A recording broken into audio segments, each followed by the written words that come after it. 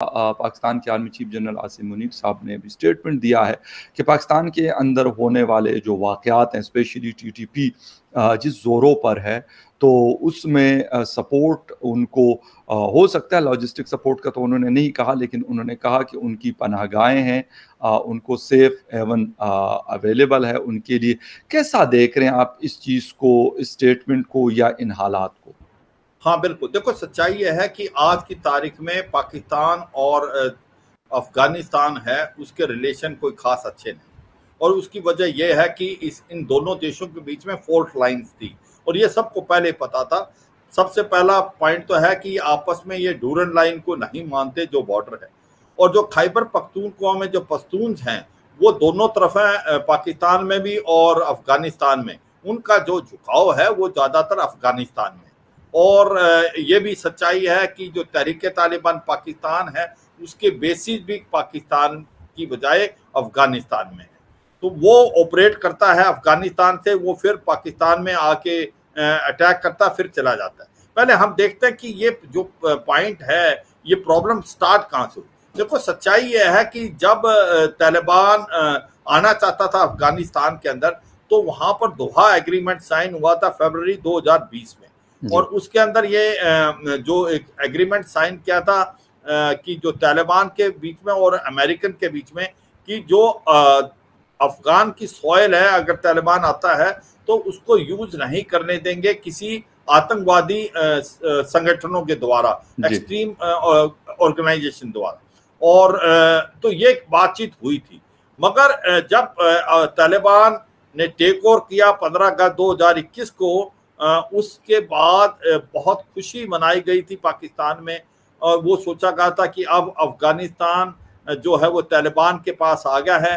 अब पाकिस्तान को strategic depth मिल गई है। क्योंकि तो पहले वो बार बार ये कहता था कि जो ये अफ़गानिस्तान में भी भारत है और ईस्ट में भी भारत है तो हमें एक प्रकार सैंडविच किया हुआ है। अब उनको लगता था कि उनको एक स्ट्रेटेजिक डेप्थ मिल जाती है। जो खुशी थी वो थोड़े ही पल के थी कि रिलेशन जो हैं पाकिस्तान और अफ़गानिस्तान के बीच में खराब हुए।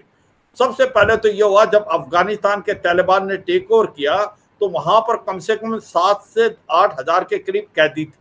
उनको उन्होंने जेलों से छोड़ दिया जिसके अंदर काफ़ी कैदी तहरीक तालिबान पाकिस्तान के भी थे कुछ एक इस्लामिक स्टेट खोरसन के भी थे कुछ वो अलकायदा के भी थे। तो सबसे पहली तो गल, गलती ये हुई कि वो जो वो छोड़ दिए आतंकवादी तो वो आके अभी बड़ी प्रॉब्लम डाल रहे हैं दोनों जो पाकिस्तान के लिए। जो। वादे किए गए थे अफ़गानिस्तान से वो वादों का कोई मतलब नहीं हुआ क्योंकि इन्होंने अपने अड्डे वहीं पर बनाए तालिबान के जो अफ़गानिस्तान में चाहे इस्लामिक स्टेट खोरसन है अलकायदा है और तहरीक तालिबान पाकिस्तान को और बेसिस मिल गए क्योंकि पहले बेसिस नहीं थी वो पाकिस्तान से ऑपरेट करता था क्योंकि हम्म। अभी अफगान तालिबान और तालिबान तहरीक पाकिस्तान जिसको पाकिस्तान तालिबान है उनके रिलेशन अच्छे हैं अब उनको भी बेसिस मिल गई। अब हो क्या रहा है ये सभी के सभी आतंकवादी जो है ये इनकी बेसिस तो अफ़गानिस्तान में है पर ये आके ऑपरेट करते हैं पाकिस्तान में और ऑपरेट करके अटैक करके ये वहाँ भाग जाते हैं। तो ये सच्चाई है ये आपस में इनके अफ़गानिस्तान के बीच में और पाकिस्तान के बीच में काफ़ी जोरों से मतभेद हुए हैं। अगर आप बिलावल भुट्टो की स्टेटमेंट देखें फकर उन्होंने ये भी कहा कि जो बेसिस पाकिस्तान को हिट करने वाले आतंकवादियों की अफ़गानिस्तान में है तो Pakistan has a right to go and attack on those bases in Afghanistan अगर आपको याद हो तो ये स्टेटमेंट दी थी। जी। इस स्टेटमेंट से कई ये भी एक प्रकार से टिप्पणी आई थी, क्या उसको हम ये माने कि भारत जो बार बार कहता रहा है कि पीओजे के में बेसिस है लश्कर तोबा जैसे मोहम्मद की, जिस प्रकार से हमने वाला कोट किया था तो वो बिल्कुल लीगलाइज है।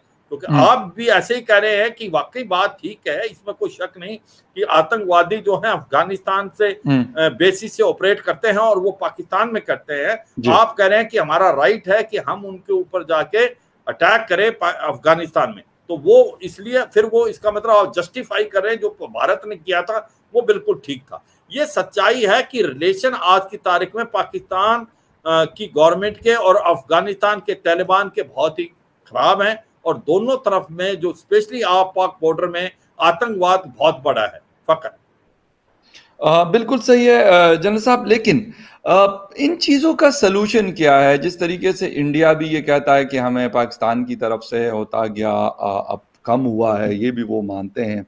अब पाकिस्तान अफ़गानिस्तान की वजह से परेशान रहता है कि जी यहाँ से आ, उनके सेफ़ हेवन्स हैं और आ, वो डिस्टेबलाइज करते हैं हमारे लोगों के ऊपर या हमारी फोर्सेस के ऊपर हमले करते हैं। तो साउथ एशिया की हद तक क्या हम हालात को सेटल डाउन नहीं कर सकते? हालाँकि मुला याकूब जो डिफेंस मिनिस्टर है इस वक्त इमारत इस्लामी अफ़गानिस्तान के, उनका एक स्टेटमेंट है कि भाई इस तरह की जंग जो है, ये कोई इस्लाम की जंग नहीं है और ये जायज़ नहीं है। ये उनका गुज्त दिन का स्टेटमेंट है। और वो मुला उमर साहब के बेटे हैं, जिसको सारे तालिबान दुनिया के किसी कोने में भी हो, वो मानते हैं, वो फॉलो करते हैं। तो कैसा देख रहे हैं इन चीज़ों को? हाँ देखो कहने और करने में बड़ा फ़र्क है। सच्चाई है कि अफ़गानिस्तान में अफ़गानिस्तान की जो गवर्नमेंट है उसका कंट्रोल नहीं। और इसके अंदर जो इस्लामिक स्टेट खोरासन और जो अलकायदा है उसने अभी बहुत बड़े बेसिस बना दिए हैं और ये एक पाकिस्तान के लिए ही प्रॉब्लम नहीं है। ये एक पूरी वर्ल्ड की पीस के लिए प्रॉब्लम है। और ये डर था पहले भी क्योंकि जब तालिबान आएगा और कहीं ना ऐसा ना हो इस्लामिक स्टेट खोरसन और अलकायदा बहुत बड़े फैल जाएँ और ये पाकिस्तान में ही अटैक नहीं करेंगे इनकी मार जो है अमेरिका तक है।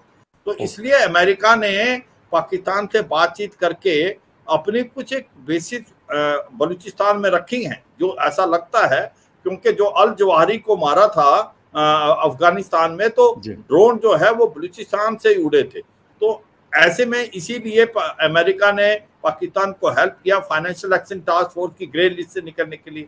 और इसी प्रकार आईएमएफ से लोन भी दिलाया।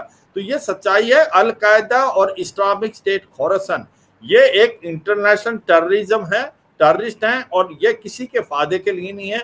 ये पाकिस्तान को ही नहीं नुकसान करेंगे। ये पूरी वर्ल्ड की पीस को कर सकते हैं और इनके जो रेंज है, वो अमेरिका तक है। तो ये अमेरिका भी जानता है। मगर ये अफ़गानिस्तान की कंट्रोल में नहीं है। अफ़गानिस्तान की गवर्नमेंट के अगेंस्ट भी ये ऑपरेट करते हैं। और मगर क्योंकि वहाँ पर इतना तालिबान की गवर्नमेंट का कंट्रोल नहीं है वो इलाका बहुत खुला है वहाँ पर इनकी बेसिस बनाना आसान है। तो ये बेसिस जो है पाकिस्तान की बजाय अब अफ़गानिस्तान में बन गई हैं और ये ऑपरेट करते हैं। और दूसरा ये हुआ इनको हथियार मिल गए हैं जो कि अफ़गानिस्तान के अंदर अमेरिका छोड़ के गया था और इनकी ये जेलों में जो बंद थे जो 10 से 15 साल अमेरिका ने इनको पकड़ के जेलों में डाला था तो बेकूफी कर दी तालिबान की गवर्नमेंट ने इनको जेलों से निकाल दिया आज हम्म। ये एक बड़ी प्रॉब्लम बन गई है पूरे वर्ल्ड की पीस के लिए और पाकिस्तान के लिए ज़्यादा क्योंकि कुछ एक उसमें तरीके तालिबान पाकिस्तान के थे और कुछ अलकायदा और इस्लामिक स्टेट है तो ये सच्चाई है इस्लामिक स्टेट खोरसन और अलकायदा ये जो है इंटरनेशनल टेररिज्म फैलाएँगे और ये अफगान पाकिस्तान बॉर्डर में ही नहीं इनकी रीच बहुत लंबी हो सकती है और ये पूरी वर्ल्ड की पीस के लिए बहुत बड़ा खतरा है फकर बिल्कुल जन साहब आपकी बात दुरुस्त है, लेकिन अब दुनिया इसको कैसे देखती है, ये सबसे इम्पोर्टेंट है स्पेशली अमेरिका का आपने ज़िक्र किया। वो लोग गए हुए, उनको तकरीबन अभी दो साल होने को है। और अभी किसी की रिकग्निशन भी नहीं है जो अफ़गानिस्तान की गवर्नमेंट है, किसी ने भी उनको रिकगनाइज नहीं किया including Pakistan, Hindustan, Iran, China या बाकी दुनिया ने। और खैर अभी देखते हैं कि क्या होता है, लेकिन दुनिया की नज़रें इस वक्त, क्योंकि यूक्रेन वॉर के ऊपर है तो शायद अफ़गानिस्तान से तवज्जो हटी हुई है। बट देखना ये पड़ेगा कि ये क्योंकि पाकिस्तान सिर्फ़ इस जंग को मेरा नहीं ख्याल के लड़ सकता है न सिर्फ़ अफ़गानिस्तान इस जंग को लड़ सकता है। इसके लिए सबको मिल बैठना पड़ेगा तो तब जाके पॉसिबल होगा इनके खिलाफ कोई अच्छी स्ट्रेटजी बनाकर और इनका खात्मा करना। जनरल साहब आपके टाइम का बहुत शुक्रिया कि आपने शो ज्वाइन किया। एक ही चीज़ जी जी प्लीज़ सर जी सर एक तो देखो पाकिस्तान को अब समझना चाहिए कि आ, आ, कोई परमानेंट फ्रेंड और कोई एनमी नहीं है क्योंकि अफ़गानिस्तान में उन्होंने देख लिया जी किस प्रकार से अलकायदा और इस्लामिक स्टेट खोरसन उसको अभी कितने सक्रिय हो गए साथ में तहरीक तालिबान पाकिस्तान। तो पाकिस्तान को अब ये जो लश्कर तोबा और जैसे मोहम्मद जैसे आतंकवादी भारत के लिए बिठा रखे हैं जो कि पीओजे के में उनको भी उसको नकारा करना चाहिए। क्योंकि जब तक उसकी एक पॉलिसी नहीं होगी अगेंस्ट गुड और बैड टेररिस्ट क्योंकि आज प्रॉब्लम क्या पाकिस्तान की? उसने वो जो आपने हिलेरी क्लिंटन आई थी 2013 में उसने बोला था ना अगर आप अपने कोर्टयार्ड में सांप पालेंगे तो एक दिन सांप आपको काटेंगे। तो ये तरीके तालिबान पाकिस्तान भी टेररिज्म भी तो वो पाकिस्तान ने क्रिएट किया था आज उसको प्रॉब्लम डाल रहे हैं। वो कहते हैं जो पेया बोया पेड़ बबूर का तो फल कहाँ से हो? तो अब पाकिस्तान को सच्चे मन से सभी आतंकवादियों पे एक्शन लेना चाहिए इंक्लूडिंग लश्कर तोबा जैसे। और ये जो लड़ाई आपने बताई अलकायदा और इस्लामिक स्टेट खोरसन की लड़ाई ये एक इंटरनेशनल लड़ाई है और इसको सीरियसली सभी रीजन में ये रीजन में इंस्टेबिलिटी ला सकता है और इनकी मार अमेरिका तक है। और इसलिए बहुत ज़्यादा देना है। दूसरी बात आपको ने बड़ी अच्छी बोली फकर कि यूँ तो अफ़गानिस्तान की गवर्नमेंट जो तालिबान की उसको रिकग्नाइज नहीं किया पर वर्किंग रिलेशनशिप बहुत देशों ने बना बिल्कुल। क्योंकि हो नहीं सकता। आप कितने दिन रिकग्नाइज नहीं करेंगे। इंक्लूडिंग इंडिया हमारे जो प्रोजेक्ट्स थे वहाँ पर 300 के करीब उनमें से 180 कंप्लीट हो गए थे। जो 120 नहीं थे वो हम कंप्लीट कर रहे हैं। तो ये वर्किंग रिलेशन तो बन चुके हैं उनके मगर ये सच्चाई है कि तालिबान गवर्नमेंट जो है वो कंट्रोल नहीं कर पा रही है। हम्म। उसका इस्लामिक स्टेट खोरसन और अलकायदा के ऊपर बिल्कुल कंट्रोल नहीं है। और जो तरीके तालिबान पाकिस्तान है उसके रिलेशन तालिबान गवर्नमेंट के साथ अच्छे हैं। जो कि हैं और वो इसका इस्तेमाल करते हैं वो वहाँ की बेसिस वहाँ बनाते हैं और वो ऑपरेट करते हैं और पाकिस्तान में अटैक करते हैं। तो इसीलिए आज की तारीख में पाकिस्तान और अफ़गानिस्तान के जो रिलेशन है उसमें काफ़ी खटास आई है बिल्कुल आपकी बात दुरुस्त है जनरल साहब की उसके लिए आ, काम करने की ज़रूरत है और परमानेंट बेसिस पे और हाँ एक दूसरे को रिस्पेक्ट देने की भी ज़रूरत है। इस्लामाबाद को काबुल को रिस्पेक्ट देना पड़ेगा और न्यू दिल्ली को इस्लामाबाद और इस्लामाबाद को न्यू दिल्ली को।